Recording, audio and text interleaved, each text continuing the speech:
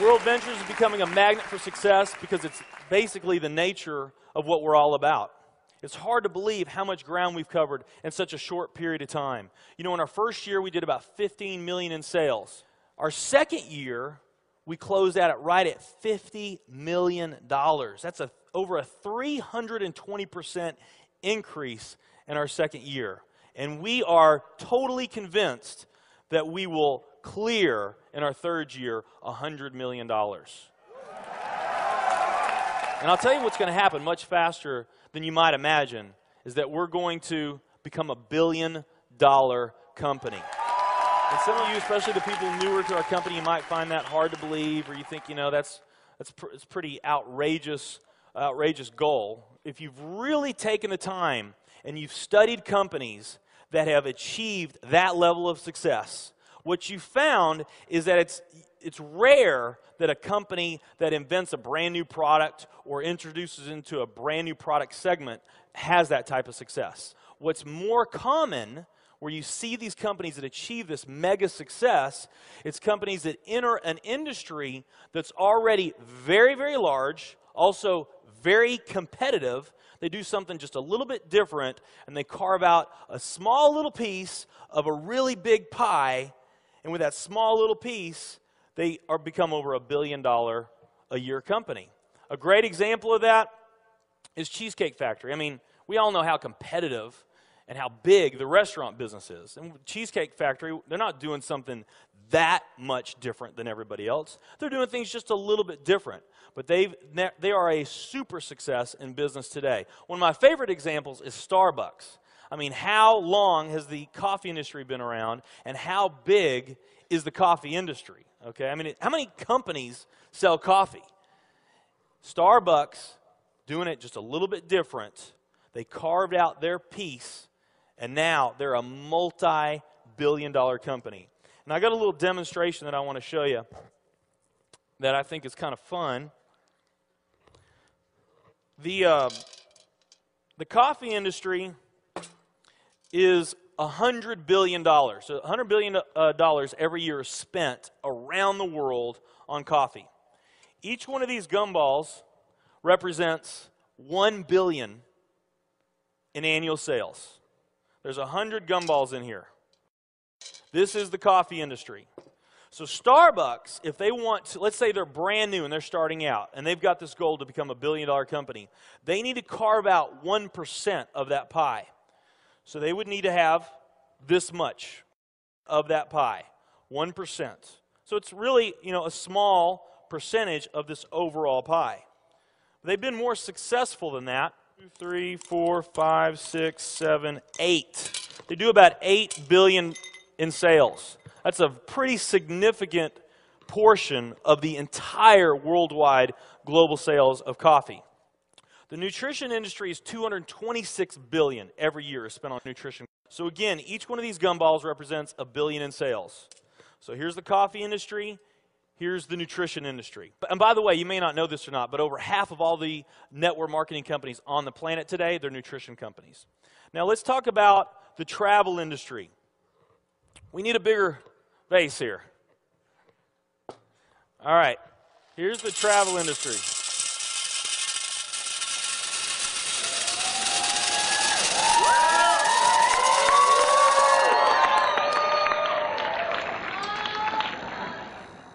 Impressive, right?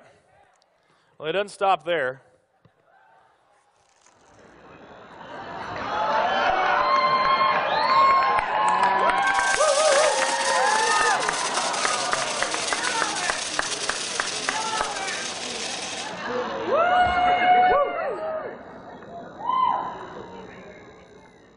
That's pretty big, right?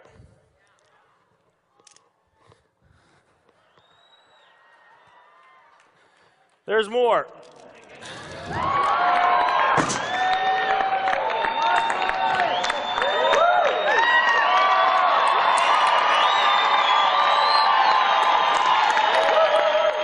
But wait, there's more.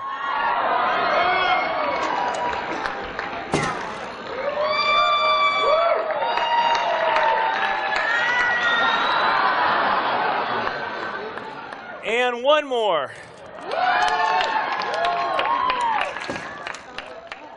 All right. So here's coffee. Here's nutrition, the entire nutrition industry. Here's travel.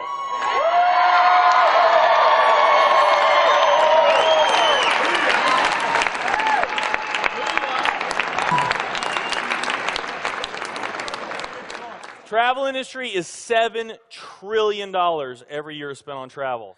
And they also say that the travel industry is going to grow from 7 trillion to 13 trillion over the next decade. Nutrition and travel. Over half of all the network marketing companies that are out there, those they're nutrition companies. And by the top experts estimate, there's probably at least 3 to 5,000 nutrition network marketing companies out there today. Now, let's play the numbers down a bit. Let's say it's not three to 5,000 companies. Let's say it's only 2,000 nutrition network marketing companies.